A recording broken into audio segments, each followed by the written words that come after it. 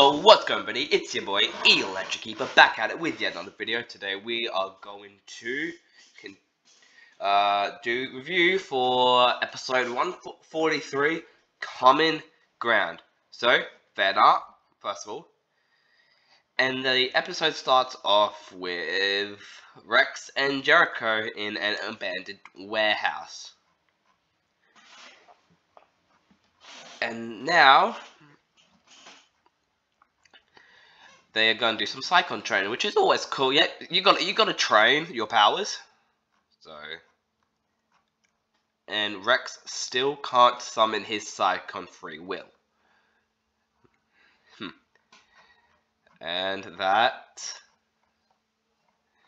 Rex actually can't do anything uh, with his Psychon anymore, since they are not combined. I guess I don't know you let Desmond get too into your head. So yep, Jericho actually knows what's going on. So oopsie daisy, I guess. And Rex is wondering what what the end goal is because he doesn't think Ben is in the right hands.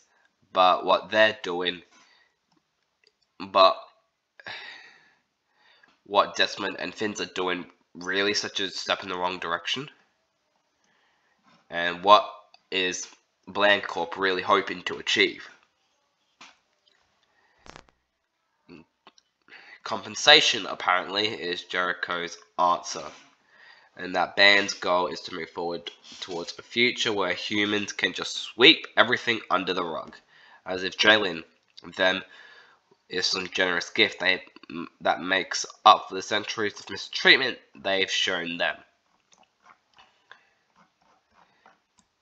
And now, and all Jericho wants is to be equals, but he's going around it purely the wrong way. And Rex summoned out his Psychon, I guess, with Violet Flames, which, honestly, Violet's a really cool color. Ow. Anyways. And now, it's a fight. Yep, Jericho wants to fight. You heard him. Let's go. Okay, let's do this. To start. But you two are barely reading the same book, let alone on the same page. Two of you need to come and go. And now, we get to the really good part of the episode. I bet it would hate for you to be be written for months as you recover from a dubious injury. I could raise the stakes even further.